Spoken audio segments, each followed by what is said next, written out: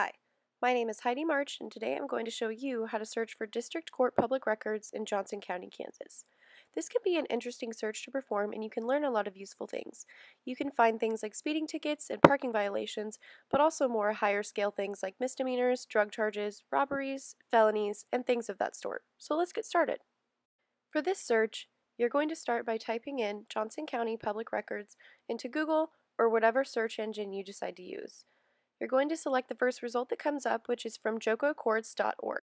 You can search by using the case number if you know it, or a slightly easier way, which is using the last name and the first name of the person you want to search. We're going to use a fictitious name just for the purpose of showing you how the website works.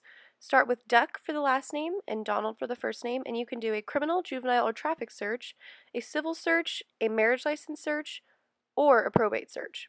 Go ahead and click enter. Obviously, there were no results. But now, let's start with our real search. We're going to go ahead and use the name Bill Self just for the purpose of this search because it's a familiar name.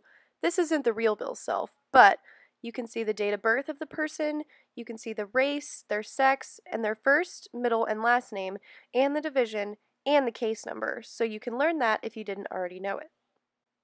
Upon selecting the case number, you can see all the titles and counts from that incident, you can see the dates that they happened, you can see if they were found guilty or not guilty, you can see their sent date, and you can see their jail time, their original jail time, and then their final jail time.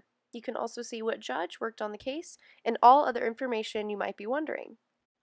I hope this tutorial taught you something new, and I hope it can be of use. Thanks for watching, and happy searching!